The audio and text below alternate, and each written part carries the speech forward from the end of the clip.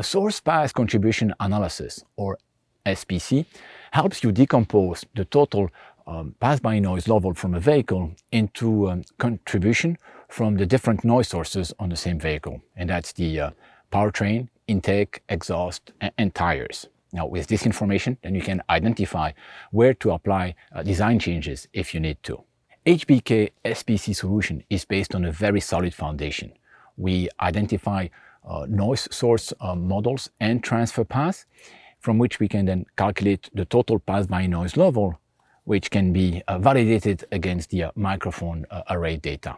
Thanks to this decomposition into sources and contribution, and you can then easily identify the uh, effect of design changes. With our solution, you're even able to actually listen to the uh, different contributions since we are processing the data in the time domain. HBK uh, SPC solution is actually very easy to use. You can create a, a, model from a stored data set, and then this will enable you then to get uh, all the source model, transfer paths, and, and results in a very limited time after the measurements.